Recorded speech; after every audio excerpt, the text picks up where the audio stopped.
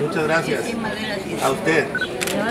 Para la sociedad mexicana, pero que es muy preciado para la sociedad de Escobedo, que son nuestros adultos mayores.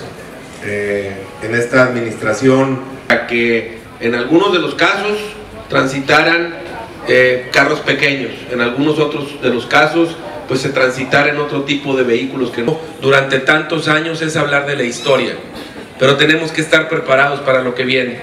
Y por eso les decía que cuando ustedes me confirieron, Dios los bendiga y felicidades en este momento.